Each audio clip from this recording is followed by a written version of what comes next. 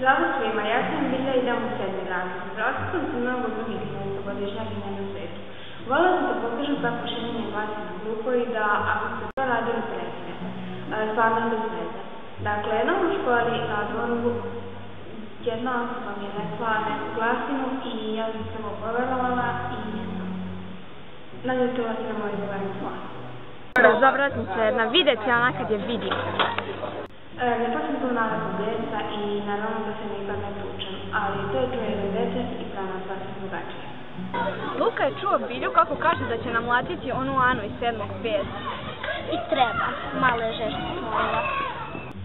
To je čuo Stefan i prenao priču Alo, narod, slušaj. Sutra u nadvorištu ispod koša će Bilja raskantati Anu iz sedmog pet, to moramo ići gledati. Normalno. E ljudi, sutra će na velikom odmoru na sevaju bejsbol palice. Ona, Bilja iz sedmog četiri će da izlema Anu, Srđana i Stevu. Nešto zbog nekog lažnog fejsa, nemam pojma. I tako tako je išla sve u školu tu dok nije, ponovo došla do mene. Joj, sutra ekstra šorka. Neka bilja protiv sedmog pet. Kaže, bit će stvarno onako neka tuča, ali odložena posle škole, pošto šta je peteci mu kaže tu tuču. Kaže, dovesti neke snake kao neke pejbolske i pokušali, šta ja znam.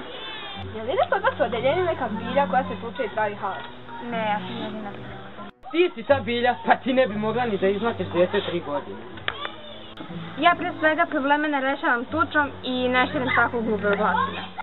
Milica, Dejan, Stefan i Srđan kod razredne čula za neku tuču da ju obljati. Opet dole.